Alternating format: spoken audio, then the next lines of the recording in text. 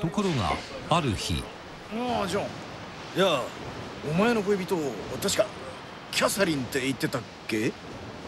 ああそれがどうかしたのかい？いや多分名前が一緒なだけだと思うけど。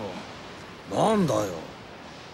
前に俺の知り合いがねキャサリンっていう女にひどい目にあったって言ってたからちょっと気になってなそりゃ人違いだなキャサリンは素晴らしい女性なんだ。この時は気にも留めなかったが